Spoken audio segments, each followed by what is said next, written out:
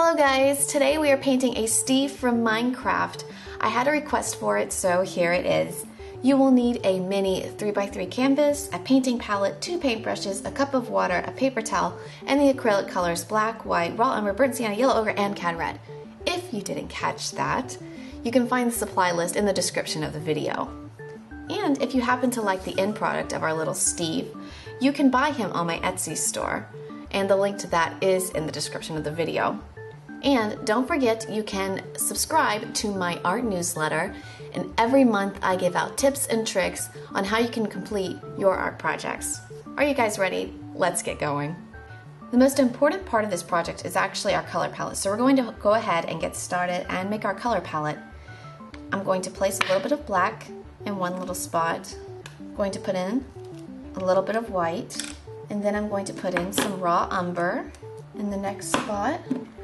I'm going to make a mixture of equal amount of raw umber and burnt sienna. Burnt sienna, oops, I got those mixed up. That was raw umber, that's burnt sienna. A little bit of white, and just a tiny little bit, tiny little bit of black. And we'll mix that in a minute as well. Next spot, an equal amount of yellow ochre and white.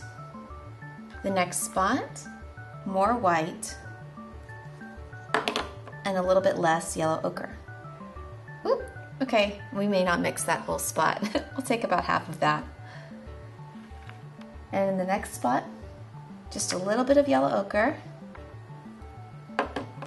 and a lot of white and a touch, just a touch of red. And I will not mix that whole spot. I'll probably take a little bit with my brush and mix it in with that.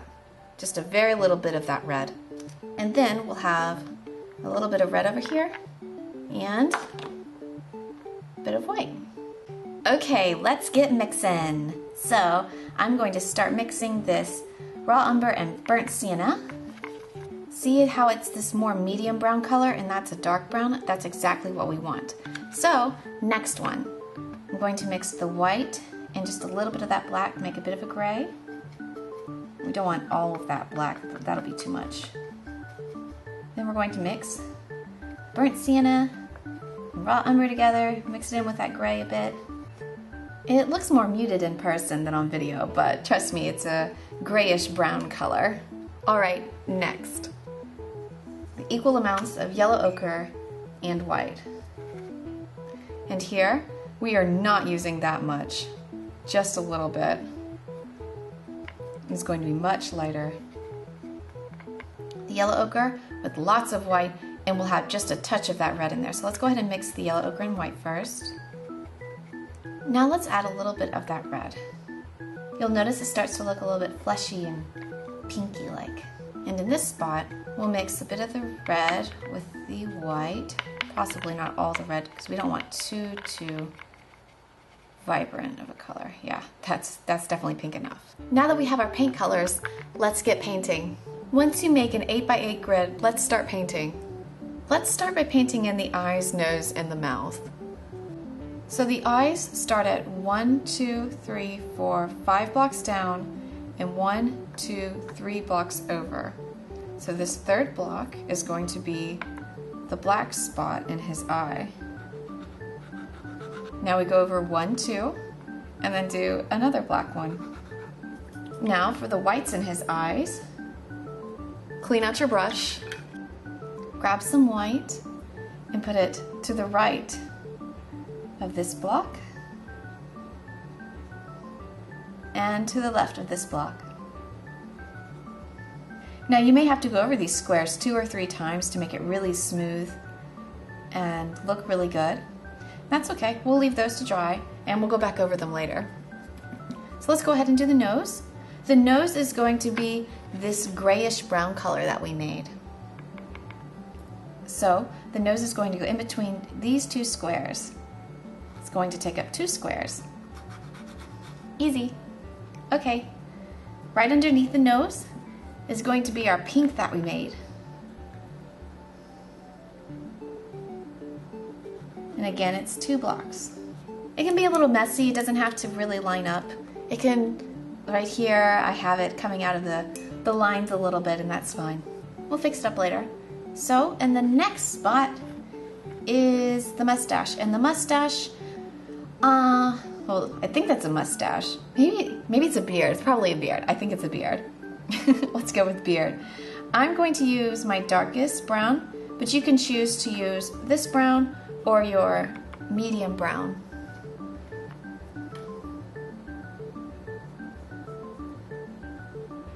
And just fill it in. And it's going to be to the left and right of the, I think that's the mouth. And we're going to make a U shape. If you want, you can go ahead and turn your canvas and paint the edge right there, the brown color you chose.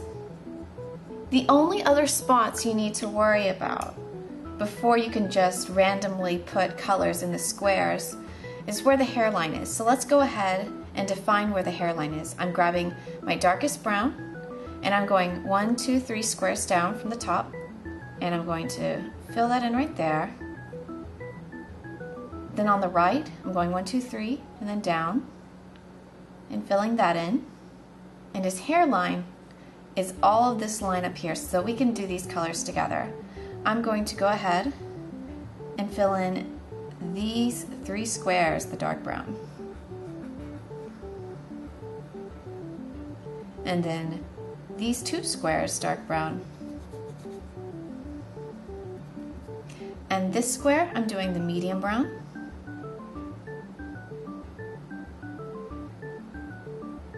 And this square, medium brown.